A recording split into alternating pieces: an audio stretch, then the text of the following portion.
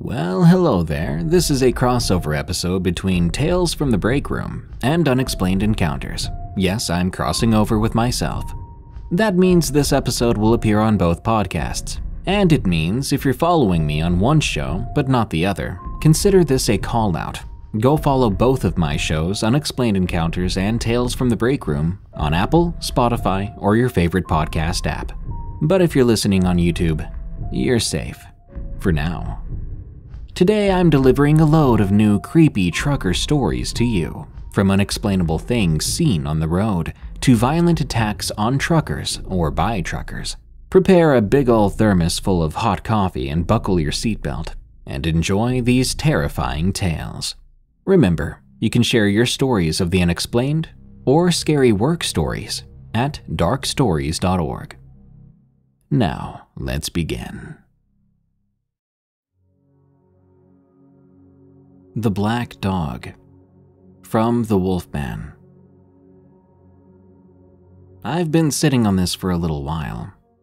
I figured now is as good a time as any to get it in writing. As a warning, this will contain mentions of self harm. I've only been driving trucks for around two years now, but I grew up around it here and there, and I love talking to the old timers about how the industry was during the golden age of trucking. I got to hear the good, the bad, and as I got into it myself, the superstition. Everyone, no matter who they run for, where they drive, or how long they've been in it, they've seen their fair share of it. I've witnessed pileups in the winter, vehicle fires in the summer, and I've beaten the coroner to a wreck once or twice. It's just the nature of the job. The more you're on the road, the more likely you're going to come across some unpleasant things. This incident, or what I believe it to be at least, still gets to me on some of the longer nights. To set up some background, and I apologize if it gets a little long, I'll go into it from the beginning. I started driving trucks at the end of the virus. I'd been laid off after five years at a factory with no telling of when it would reopen. So I looked around and decided that if truckers worked through this, I'd have a job through just about anything. I went to a small school, got my CDL, and got in with the company. After about a year, my buddy expressed interest in driving, so I talked to him and we got him into a company too that would train him and put him on the road. For this story, I'll call him S. S was a few years older than myself. He was in the National Guard Reserve and was looking for some work between deployments. He'd been in for a few years, messed up his knee on a training op, and was now looking to switch his enlisted job. While all the paperwork was in red tape limbo, he wanted to drive. I ran a flatbed through the Northeast, and he ran a box for a supercarrier between Pennsylvania and out west. He even sent me pics of the world's largest truck stop off of Route 80 in Iowa. Rarely did we cross paths on the blacktop, but every once in a while, we ended up back in town for some off time. We'd meet up, have a few drinks, and swap stories. Now, we've watched scary movies, and we told folk tales in the past around campfires, but never got too much into it. One night, he sat back in his chair and said to me, Hey, you ever seen the black dog? Now, this made me about choke on my drink. Most of us, we've all heard different things about the black dog. Some say it brings death, Others say it just warns you beforehand. You're always tired, but if you're too tired and starting to ride the rumble strip too much, you may see the black dog. So I sat back and told him my story of it. The way I see it, first time is a warning. You're tired, you get off the road, and you get some sleep. Second time, it'll make you stop. You'll experience something that'll get you to pull over animals in the road, mechanical mishaps, random traffic stop by police or DOT. Something that'll get you stopped. If you continue going after that, and you get back between the highway lines, it gets a little foggy from there. No way to know for sure what happens exactly, because from what I've been told, your time is up. Some guys wreck and don't survive. Some are found dead in their rig in the following days heart attack or exhaust leaks, the works. I've personally seen it once, It was a foggy night on Route 84 through New York. Happened back in February. I was dead tired. Coffee, energy drinks, Marlboros, nothing was working. I took my eyes off the road for a second to fiddle with the radio, and when I looked up, I saw it. Through the fog, something skittered off the shoulder and into my lane. A shadow in itself. It paused to look directly at me. A black, wispy canine shape with hollow, yellowish eyes. I shot upright in my seat. With a flatbed, you can't slam on the brakes or your load will come up to visit you in the cab. And with trucks in general, you can't swerve much or you'll roll over. So I just gripped the wheel and braced for an impact. But it didn't come. I passed through where the figure was and kept on rolling, pulling off on the shoulder as soon as I could. When I got out, I went around to the front of my truck to look for damage, but there was none. No fur, no blood, nothing. She didn't have a scratch on her. I stood there slack jawed for a few minutes before remembering the stories I'd heard. And after putting two and two together, I darn well knew what I thought I encountered. So I climbed back in the seat, pulled off at the next off ramp, and caught some much needed sleep. I ended up being late to my delivery but hey, I'm still around. I shifted in my seat and took another drink. He chuckled and replied, Well, I've seen it twice now, I think. I raised an eyebrow as he continued. Yeah, last week. I was headed east towards Ohio, and I saw it once along the side of the road. Now, I was pretty far from my delivery, so I just kept going. About two hours later, I thought I saw it again, but it ended up being a deer that shot into the road as I went to pass it. I ended up hitting the darn thing. I pulled over to check, and thankfully, it just busted some of the plastics. At this point in his story, I was a bit nervous, but obviously, he was sitting across from me in my living room. I asked him, Well, what happened? I finished my run, and I ended up delivering. I got some rest and started again. We both kind of laughed it off. Such is the industry. We finished our drinks and chatted into the early morning before hitting the hay. A week or so after that, I got a call from S. He had gotten into some argument with his dispatch over getting home in time for a wedding, so he ended up quitting the job. He seemed a little angry about it, but nothing serious. Over the next week or so, his luck just kept getting worse. His motor blew in his car, he had even more work problems, money problems, relationship problems, the works. Two days into a vacation, I got another call from a different friend. They gave me the dire news that S had killed himself. He left a note, but none of us got the specifics. And while the army did their own investigation, I never heard from that either. It's been almost a year since, and I'll be the first to admit it may all be a real bad coincidence. But I'm dang scared to see that dog again. To everyone reading or listening, and to my fellow drivers, be safe. S, I miss you, brother. Behind the Mound from Merthra. When I was 19, I used to drive a semi with my dad as my team driver. We drove for a small company that often had us in the northeastern United States. My story takes place in a small town in Minnesota. At the time, I was only about 150 pounds and 5 foot 6, not at all big compared to my fellow truckers. My dad and I had just dropped our trailer off at its destination.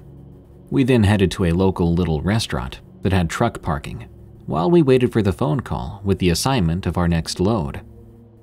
There was enough room for maybe 10 trucks there, so we backed into a spot that was between two other trucks. My dad headed into the restaurant to get us a table, while I let my dog out to use the restroom.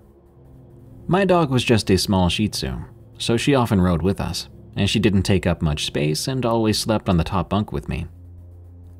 I put on my coat then put her harness and coat on her and carried her out, sitting her down on the ground before closing the door. This place only had one kind of dim street lamp lighting up the whole parking lot. But I didn't mind. We'd been to the place numerous times and I was comfortable here. Maybe a little too comfortable. I had a routine I followed at this restaurant. I would walk her around behind the parked trucks, let her do her business, then finish walking around the front of the trucks, back to ours. I would pick her up and carry her back into the truck, take her stuff off, and join my dad inside for some coffee and a hot meal. As I placed her onto the ground, I noticed a dirt mound behind the trucks as a result of the plows clearing snows from the unpaved parking lot. This mound had a gap in it between our rig and the one beside us on the passenger side. I used the gap to walk my dog behind the trucks. She'd only peed here, so I continued to walk her around to the front side of the trucks. As we rounded the front side, she stopped to do her business again, then sniffed around as I used a bag to clean up after her. Once I tied it shut, I started to walk back to our truck. However, my dog stayed where she was. I tried coaxing her to follow me, but she wouldn't budge. I thought maybe her paws just had gotten too cold, so I picked her up and began to carry her. Bitsy, what's gotten into you? I asked as she squirmed and grumbled in my arms. With her being so small, I was able to keep hold of her until we turned to go between the trucks. That's when she jumped out of my arms as we reached the door to our semi. Worried the fall might have hurt her, I quickly turned in her direction, only to see her now growling and showing her little teeth. I thought she was mad at me at first. I started to apologize for dropping her when I began to hear a scuffling sound. I spun around to face the noise which was coming from the dirt mound. As I did, a large man rushed forward with something in his hand. Before I could identify the object, he struck me in the face with it just above my right eye, with so much force I was knocked to the ground. At that point, all I heard was my dog snarling and the man yelling. I tried to move, but the pain in my head caused my vision to go dark. The man had dropped what he was holding then. I later found out that it was a large rock. I then began to hear what must have been his pant leg ripping from my dog's bite. As I heard his footsteps run away, I forced myself to my feet and I grabbed my dog, getting us both into our truck as fast as I could. I looked around then. I didn't know where this man had gone, but I knew I had to tell my dad what happened. I searched for any sign of the man, Upon seeing no signs of him, I ran as fast as I could into the restaurant, found my dad, and immediately broke down crying, telling him what happened. My dad and the owner of the restaurant rushed outside, only to see the taillights of a semi kicking up dirt as he made a fast exit out of the parking lot. When the two of them came back in, the owner was on the phone with the police, and my dad sat beside me, hugging me until the cops showed up. The officers took pictures of my head, where a nice sized lump had formed, accompanied by a cut. Once they wrote down my statement, they had me go outside and show them where the attack took place. They told me they believed it was another trucker that attacked me, and my dog was probably the only thing that saved me from whatever plans he'd had. Unfortunately, that restaurant didn't have security cameras in place at the time, but they later would install some covering the parking lot. Sadly, they never found my attacker. But my dog ate like a queen that night. It was the least I could do to repay her for saving my life. One rainy night, a lady in white. From the goddess of the void. My second cousin is a trucker that grew up in Grimesland, North Carolina. She and I were more like sisters rather than cousins. We're about the same age. She was a bit of a tomboy and I used to be prissy, but that's changed drastically as I follow the goth aesthetic these days. I was more open to the paranormal than she was, but she didn't seem to completely discredit it. I may have opened a few doors and portals in my lifetime by being reckless. One rainy night while driving through US 70 in Greensboro, North Carolina, her thoughts on the subject would change as drastically as my aesthetic. After this encounter took place, Because it had shaken her up so badly, my cousin called and shared this story with me. She had been driving down the road with a cup of coffee to keep her company through the long drive. The road seemed empty that time of night. She loved long drives and didn't mind the rain, though at the time the gentle sound was making her tired. But suddenly, she was alert because she saw something. No, it was someone up ahead. It was a young lady in a lovely white evening dress standing on the side of the road. She was desperately trying to flag down her truck. She wondered why on earth a lady dressed like that would be dressed that way, out here, all alone, and in such stormy weather. She didn't have the heart to just keep on driving. Besides, the road was deserted this time of night. Who else would come to help? She pulled over and opened the door, motioning for the young lady to get in. The young woman climbed in and gave her her name. My name's Lydia. I was just at a dance and now I'm just trying to get home.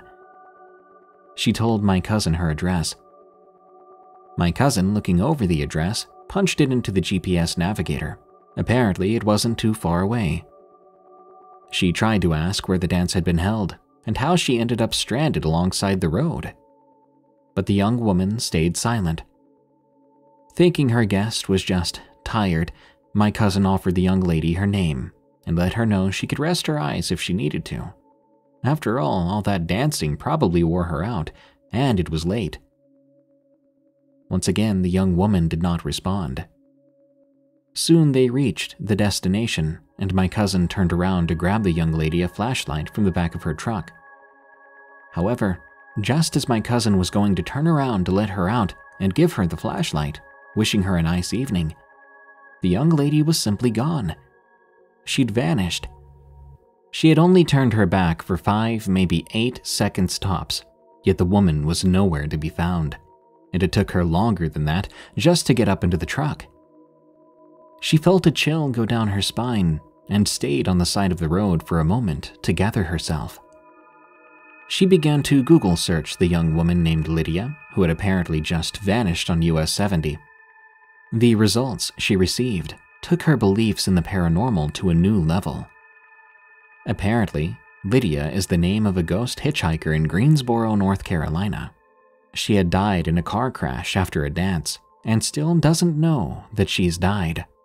She haunts that roadside, forever flagging down drivers passing through, desperately trying to make her way back home through dark and stormy nights. I hit a ghost. From Anonymous. A couple of years back, I needed a change, so I decided to be a truck driver until I figured out what else I was going to do. I'd been driving for about six months. One night, I was on my way back home. Everything was going well. I was due to arrive half an hour early to my destination. The clock read 3 a.m. I had just brewed a fresh pot of coffee with my portable coffee maker to keep me awake. That early in the morning, there were no other cars on the road, which is something I enjoyed. Metallica was playing on the radio. I took a sip of the scalding hot coffee when I suddenly saw headlights about 500 yards ahead of me. I didn't really pay much mind to it until it was about two seconds away from passing me, because that's when the passing car suddenly shifted over into my lane, full speed, I hit the brakes as hard as I could. The second the car hit me, or should have hit me, everything went dark. My headlights, the lights on the dashboard, everything, even the engine stalled. The semi came to a long, grinding halt. I was surprised it didn't roll over. What was weird was that there was no sound when it happened. No loud bang, no sound of metal bending, just the screech of tires specifically just my tires. When I came to a standstill, I jumped out of my truck, confused. Did I hit anything? I was sure that I hit something. The car was in my lane when everything went black. I looked around in the dark, but I didn't see anything out of place. No damage to my truck, nothing of the sort. I was really confused and worried. I walked around a bit, I told myself that the car must have missed me just barely somehow. So I got back in the truck. I tried to start it, but nothing happened. It was like the battery was completely shot. I took out my phone to call for roadside assistance, but even my phone was completely dead. I swear that battery was full. I had just checked my schedule not 15 minutes ago on it. I had no idea what was going on, so I thought I'd take a sip of coffee and wait for another car to drive by. I would try to get them to stop and ask for help. When I brought my coffee back up to my lips for another sip, expecting a scalding mouthful of freshly brewed coffee, it was ice cold. Like if you had taken it from the fridge after hours of it being in there. What in the world was going on? I sat there a minute, wondering what was happening. That's when I saw light in my mirror. I jumped up out of the truck, waving my hands at the car. The vehicle slowed down. An elderly man rolled down his window and asked if I was okay. I said yeah, but my truck stalled and I couldn't get it to start. A woman sitting next to the man lended me her phone, and I called for roadside assistance. I thanked the elderly couple for the help, and I got back in my truck, forcing down the now cold coffee. Half an hour later, a small truck stopped in front of me. A young guy in his early 20s got out, greeting me and hooking my truck up with power cables. I started the semi and I drove to my location. The next couple of days, I couldn't get what had happened out of my head. I didn't really believe in ghosts or the occult, but something weird absolutely happened that night. Over time, I would occasionally research that road, looking to see if it had any weird history. An article I found was about a 19 year old girl that had been driving and was hit by a truck and killed. What really freaked me out, though, was that the accident that killed her happened around 3 a.m., exactly five years ago from the day my incident occurred. I couldn't believe what I was reading. I felt sick. Had I run into a ghost? I've never told anyone about this, fearing that they wouldn't believe me, but I know what I saw was real. Scariest Trucker Encounter from Ashu. A couple of days ago, my uncle, who works as a trucker in the mountainous region of the Himalayas, told me about his recent experience that he couldn't make sense of. This is his story and his perspective. It was a long day. Work was over. I was making my way to the parking lot to park the semi. The place was barely a parking lot, really. It lacked lights in many parts of it. At night, it was very difficult to navigate that parking lot. At midnight, I parked my truck and called my mate to know if there was any space left to sleep in the building. He said, Yeah, but it's the room you hate. You know, the one with the small bed. But it's the only one left. You coming? I replied, No thanks. Guess I'm sleeping in the truck tonight. I went back to my truck in the parking lot and settled in the driver's seat. I decided to sleep. Even though I was tired, for some reason I was unable to fall asleep. I'd never felt that kind of urge to stay awake at night before. It was odd, but I went with it. So I got out my phone, scrolling through some Instagram reels and watching some videos on YouTube. I did this for what must have been three hours. By then, I checked my phone for the time 2:48 a.m. My eyes were all watery and heavy from looking at my phone's screen in the dark too long. By then, I was definitely beyond tired. I decided to just close my eyes, let sleep drift me away. After only a few minutes, I was startled by the heaviest thump I've ever heard in my life. It was powerful enough. I felt it deep inside my body like a bass drop in a song. It was so loud, yet somehow very silent, as if it was coming from very far away, still carrying that same thumping power. I tried to make sense of it. I came to the conclusion that maybe someone's stuff fell down while putting it in their truck. I know it sounds weird, But it was the only thing that made sense to me at the moment. The idea made me feel better so I could go to sleep again. Not even after like 30 seconds, though, I was again startled by the same kind of thump. I shot straight up in my seat. It came again after that. Another, then another.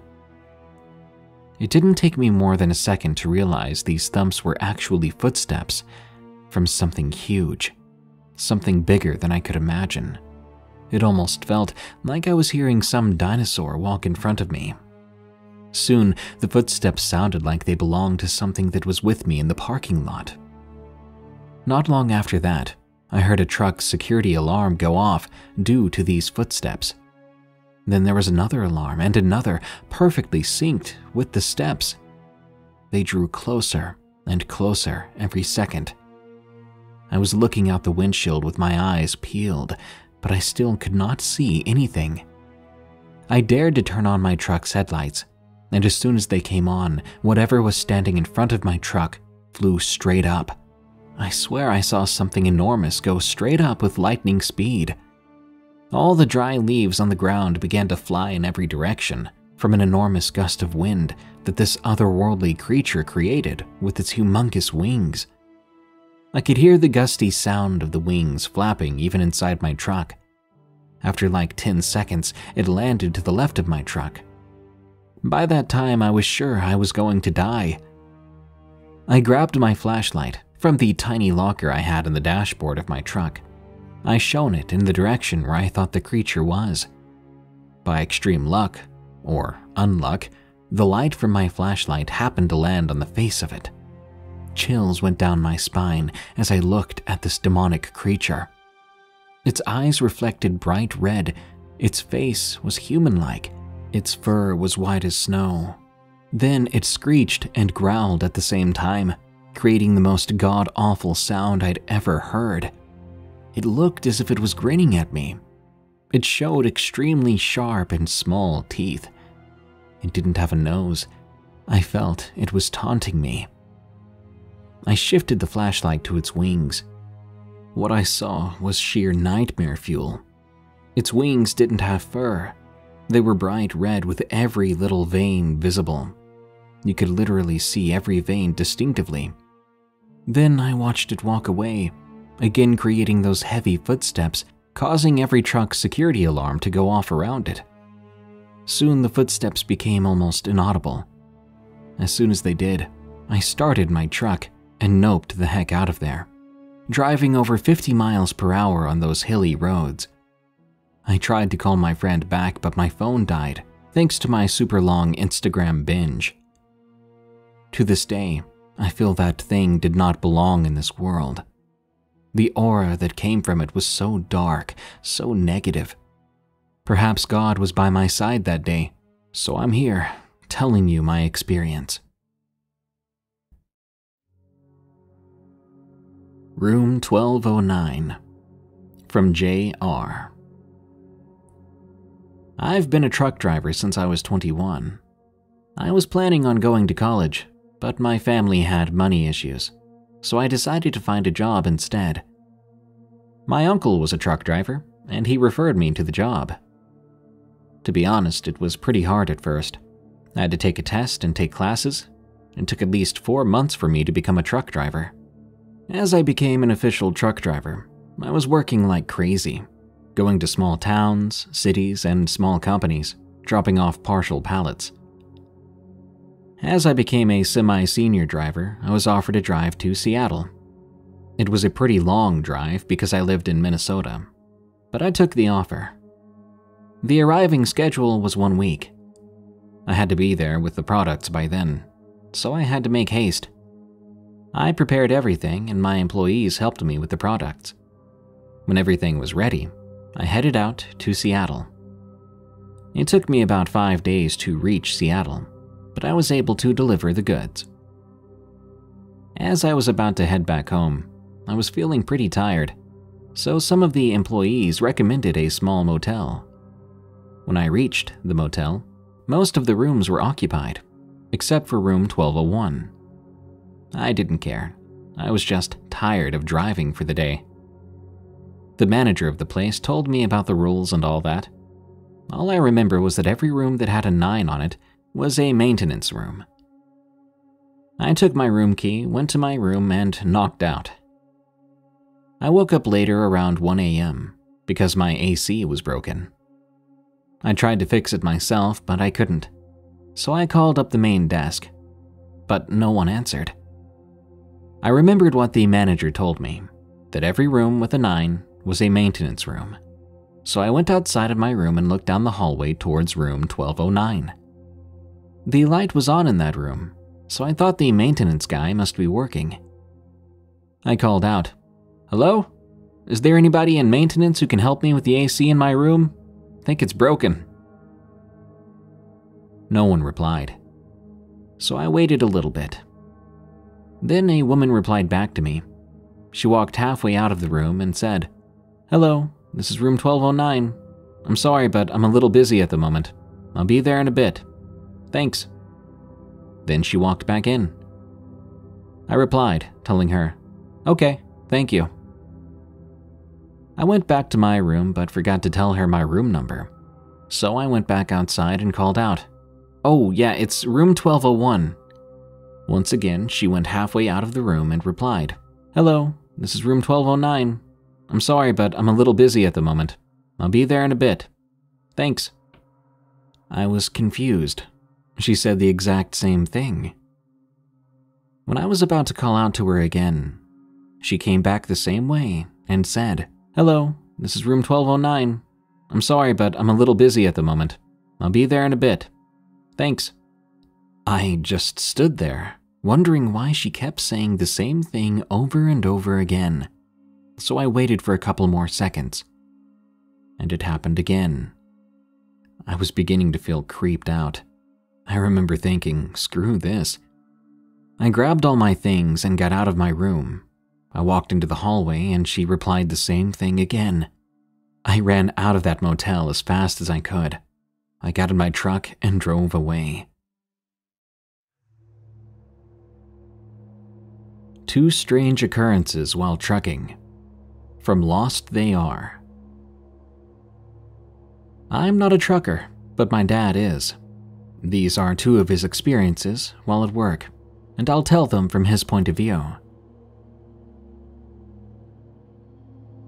One night I was fetching my truck from the yard I used to keep it in. It was around midnight. I stepped out to open the gate and I noticed two things. A strange, strong smell around me like rotting flesh, but way worse. And all the dogs within the neighborhood going absolutely bonkers. I don't scare easily, but just experiencing that rose the hairs on the back of my neck. The worst feeling of dread washed over me then. I threw the gate open, drove through, parked my car next to the truck, and quickly grabbed all my things. That feeling of pure terror got worse by the second. I locked up my car and climbed into the safety of my truck, and I hauled tail out of there, not caring to close the gate again. Later in the day, I called the lady who owned the yard. She lived on the property as well, and apologized for not locking her gate. She told me she had woke up when I pulled in and had also noticed the weird smell and all the barking. She said she totally understood. She also felt that same weird dread. To this day, I believe the devil himself had been out there that night. Quick note for the next story, my dad didn't specify which direction he had been driving, so I'm sorry if there's any confusion. This took place in California. On another occasion, after I'd been driving all day, I decided to pull into a rest stop to get some much needed sleep. The closest place to stop was the Westley rest stop on the I 5. I pulled in, found a place to park, and started to get ready for bed. I always made sure to turn off my radio completely before bed. It's one of those older dial radios, which has to click in order to be completely off. Once I made sure everything was ready, I headed to the back and lay down. Just as I'm drifting off to sleep, I began to hear these voices coming through the radio. It sounded like two truckers talking about their day. That's strange, I thought. I just turned it off. I always made sure it was off, like I said. So I got up and went to double check. I made sure I heard the click, signaling that it was off again. I headed back to bed and I lay down. Once more, I was awakened by voices from the radio.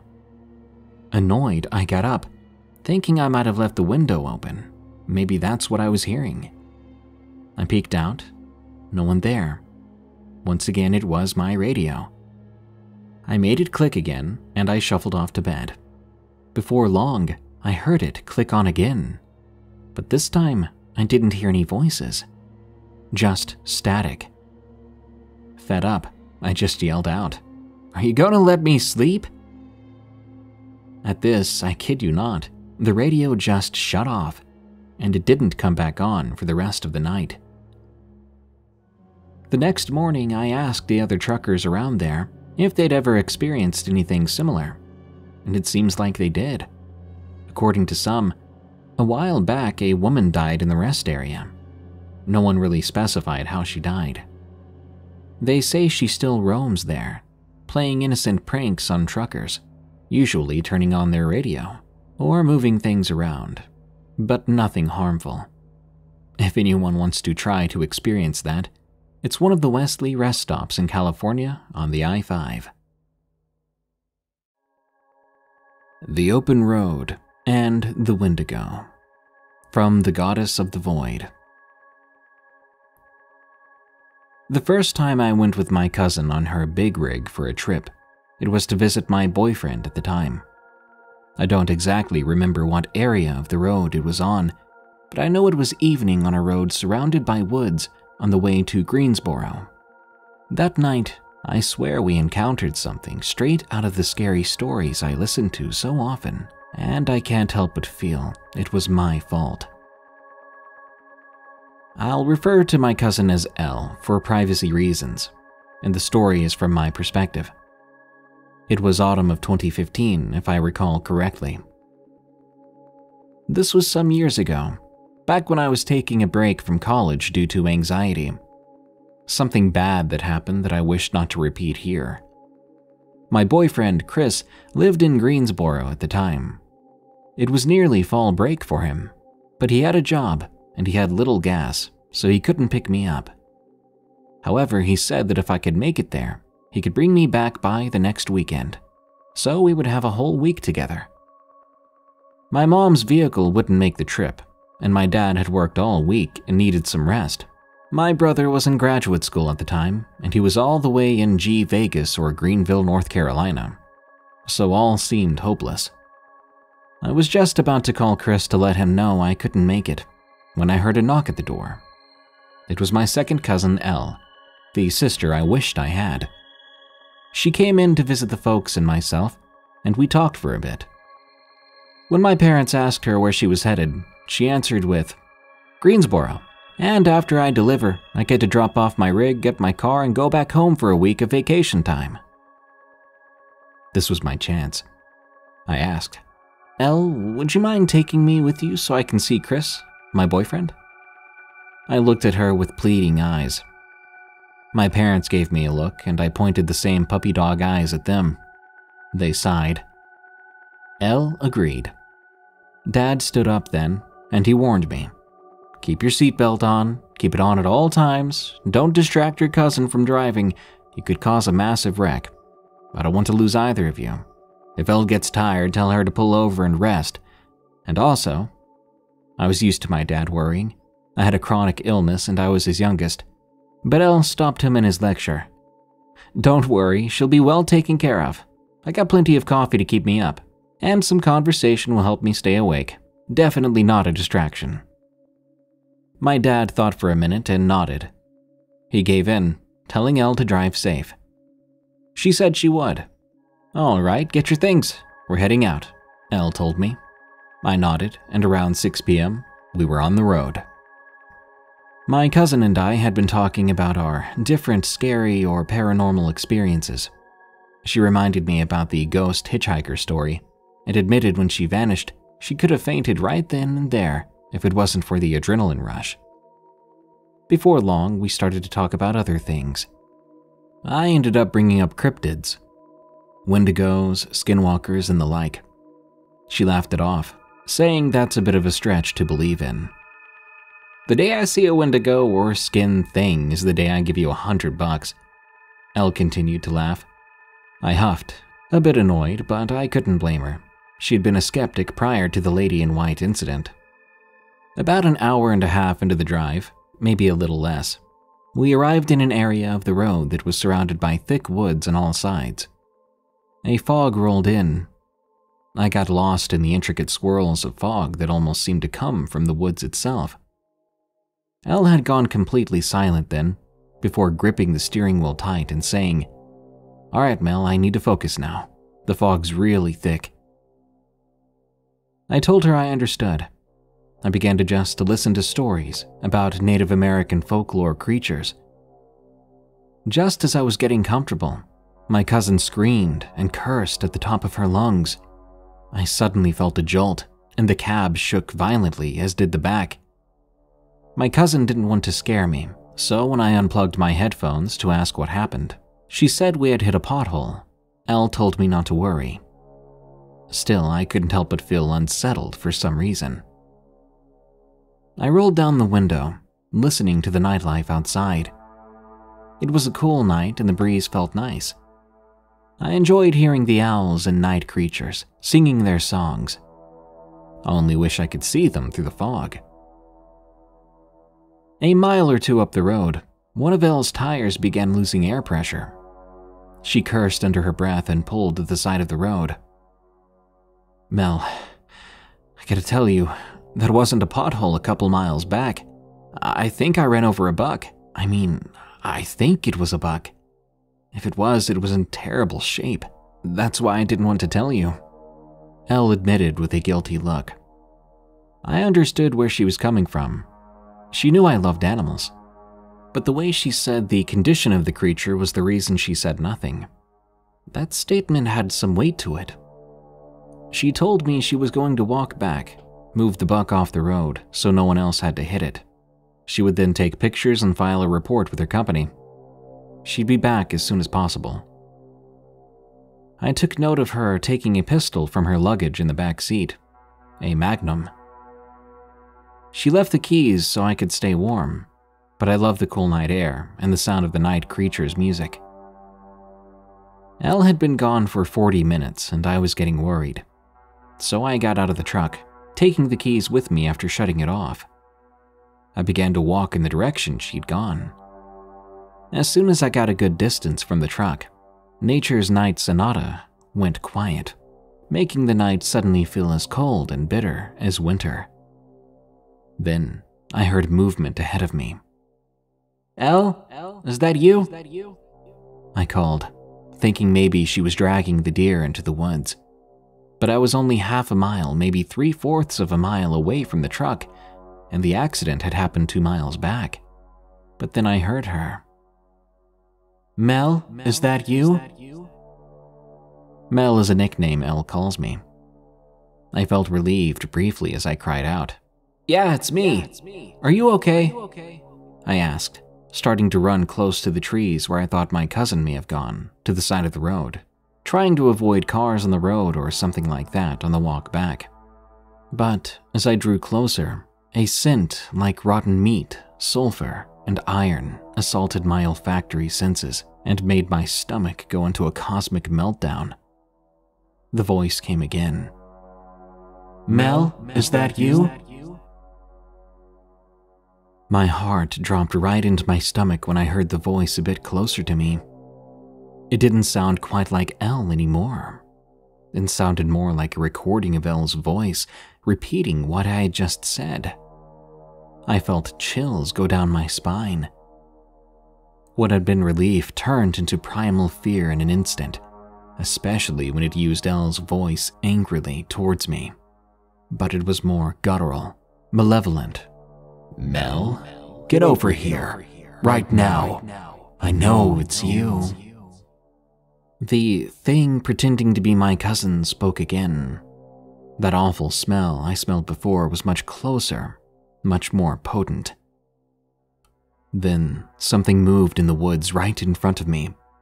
I could make out pale skin, a deer skull, antlers, huge antlers, and that creature had to be standing nine feet tall or more. I saw two glowing red eyes approaching me from the woods. I tried to backpedal even more, but I ended up tripping and falling on my backside. As it came into view, I saw sharp teeth, sickening skin, a malnourished body, long arms, and dagger like claws. The smell was unbearable now. I gagged. The shape towered before me, and it began to make a sound like a laugh in a deep and throaty voice. It was like it was taking pleasure in seasoning its prey with fear and hopelessness. At that moment, I did the only thing I could think to do scream. I screamed so loud it echoed through the night. I then heard something else echo a gunshot. It was L. The creature flinched and screeched. At the same time, L ran to me. The thing's cries echoed into the night instead of my own. Then it growled before limping back into the woods. Elle picked me up, and we both ran to the truck. However, the tire had to be changed. While I held the gun and guarded her back, she changed it. Once she was done, Elle and I ran into the rig without a second thought, speeding the rest of the way towards Chris's place. When my boyfriend Chris asked why I was so late, well, sugar honey iced tea, this man wasn't religious, nor did he believe in the paranormal or the supernatural, much less cryptids. So I decided to lie. My cousin Elle caught on and went along with the story. I told him we'd hit a deer on the way up, and also took a few wrong turns. But luckily, I got us on the right track with my GPS, and thus we arrived safely I don't think Chris really bought it. But he looked at my disheveled appearance and my cousin's similar look and decided not to pry further. He was just happy to hear that we both made it safe and sound. I gave Elle a hug before she went off to deliver her load and afterwards headed home for her vacation. I told her to be safe, and she gave me a pat on the back. Don't worry, I'm the scariest thing out there, Elle joked she slipped a $100 bill into my hand and winked, then turned away, shouting a warning to Chris. You break her heart, I'll break your bones. I giggled, and Chris actually laughed. She waved goodbye from the truck and wished us good night. If only it could have been a good night, I was so exhausted. I had nightmares about that creature, and I just knew it was me talking about stories of wendigos nonstop in the truck that caused it to appear. Legends do say that when you speak of such things, it draws them to you. Maybe I've opened a few too many doors and portals by being reckless. Had my cousin Elle not been there, I probably would have died, eaten by something that looked an awful lot like a wendigo. Death Day on the Highway from Anonymous. I've been a trucker for a long time.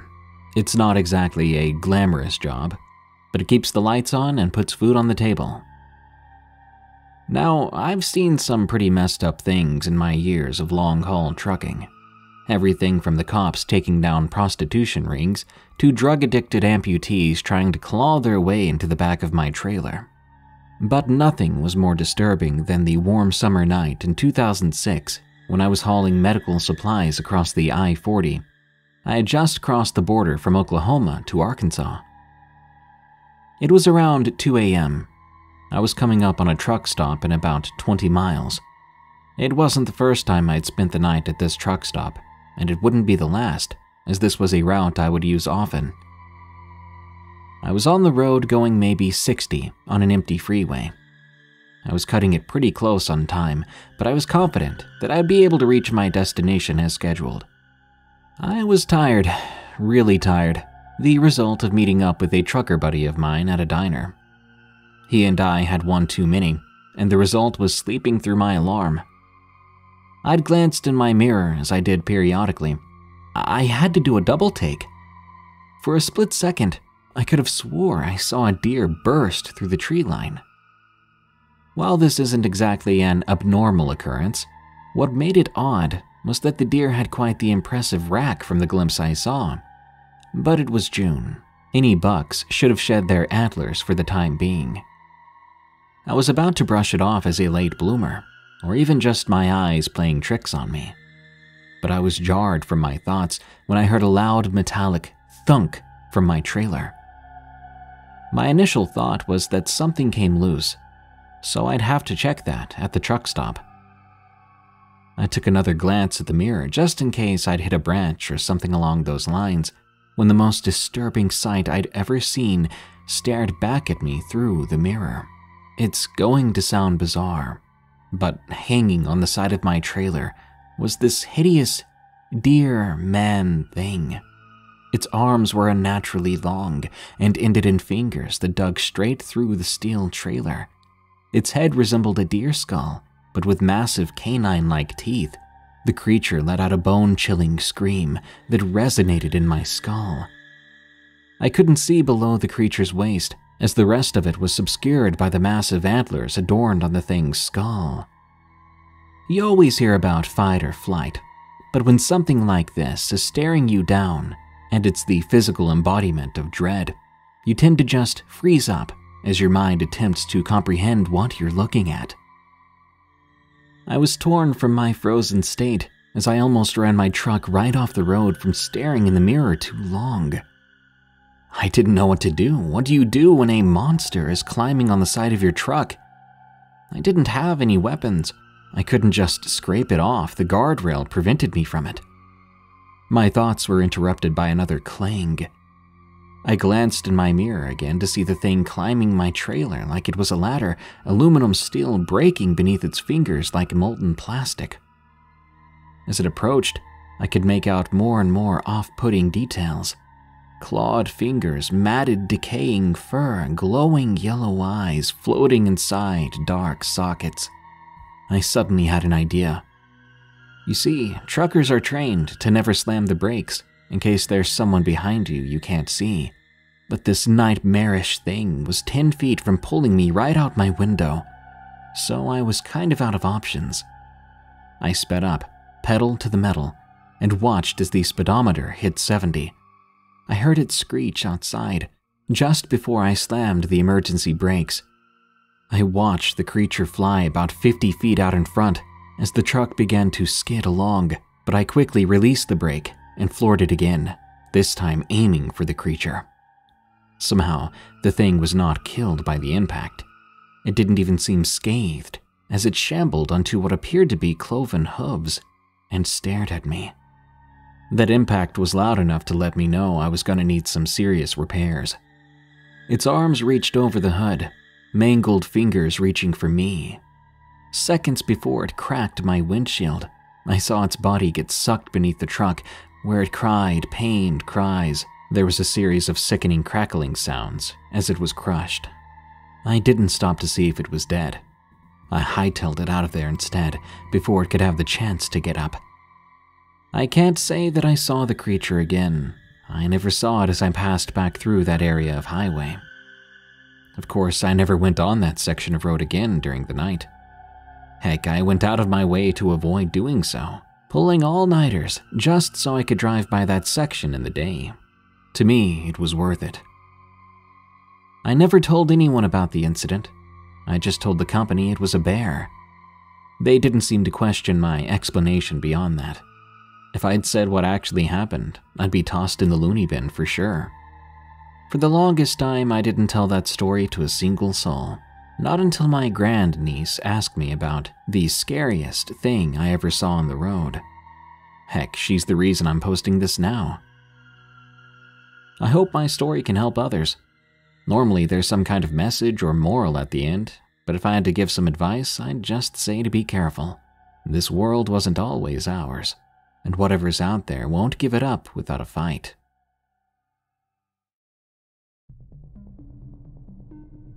The Shadow of Vidalia from Blitzed Moogle. I'm currently doing solo over the road trucking. I've been doing this for three years now, but this happened a month after I got my CDL, while paying it off working for CRST. And yes, I know, CRST is not the best company, but they helped me get my foot in the door. I was doing team expedited driving with my mentor, Finisher, at the time. As a night driver, it's a lot easier for me, as there's obviously less traffic on the interstates. But this night in particular, I was heading off the back roads in Georgia, going to Vidalia to the shipper to pick up some suitcases to take to Los Angeles, California. If you know anything about the back roads of Georgia, it's definitely eerie. Every two or so hours, you reach a small town with only one stoplight and then there's another two hours of deserted, tight roads with forest all around. I was only three hours into my drive.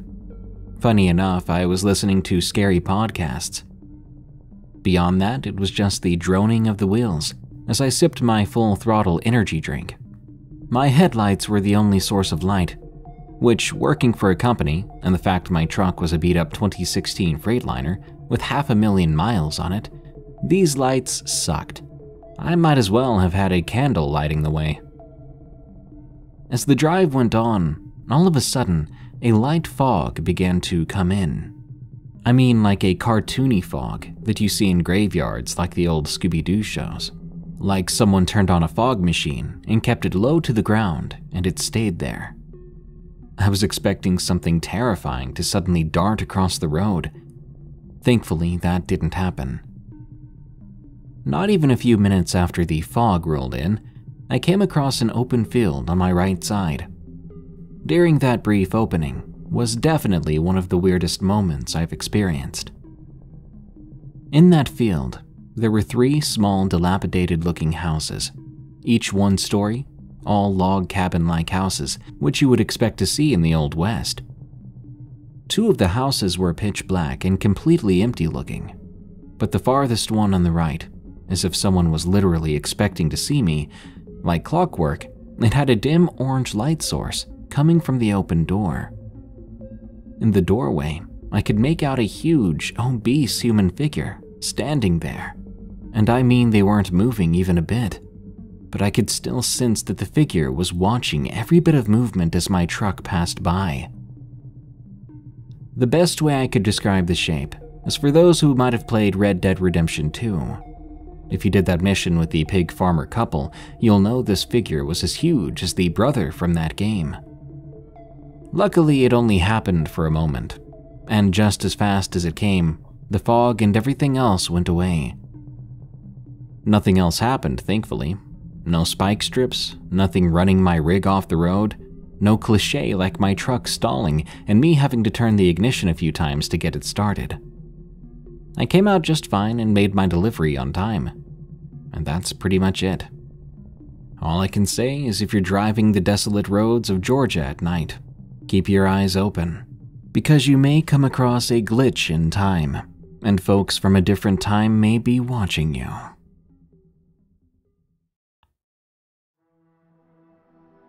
Followed by a trucker twice. From Cricket Girl 20. When I was about five years old, my mom, Mary, my brother Michael, and my sister Rosa and I, along with our dog Bandit, were coming back from Lake Thunderbird in Norman, Oklahoma. It was about 9 o'clock at night on a Saturday. I remember I kept looking behind us at this semi that was only a few feet away from us, obviously riding too close. My mom asked, Taylor, are you okay? I remember replying, Mama, the semi truck has been behind us since we left the lake. My mother, deciding to test it, pulled off the highway and the semi continued to follow. She got back on the highway immediately and kept driving until she saw a cop making a traffic stop. The semi followed the whole way. By then, my sister and I were crying, while Bandit was comforting us. My mom pulled up next to the cop, and the semi did as well. My mom told the cop what was happening, and the semi driver got out, apologizing. He said, Oh, I thought you were someone else. So maybe we were scared basically for nothing. Unless he was lying. I mean, who did he think we were? And what was he going to do to that other person? A few years down the road, when I was 17, I was with my godfather Scotty on our way back from visiting his uncle in Ada, Oklahoma. It was 10:30 at night. Scotty had been glancing behind us for a while. Suddenly he said, "That semi back there has been behind us for about 3 miles." He sped up and got in front of another semi. This continued for a couple more miles. We decided to stop at a hotel to get some sleep. I made sure to call my mom, and she said, Okay, make sure you guys lock the door. After we hung up, I went to the ice machine. I saw the same semi in the parking lot. The trucker came up to me, and he began to ask me questions, which made me uncomfortable. The next thing I knew, Scotty came up behind me, wrapping his arm around me. The trucker, looking disappointed, walked away. He basically ran back to his truck and sped off down the road. After we got home the next day, I thanked Scotty so many times. We never saw that trucker again.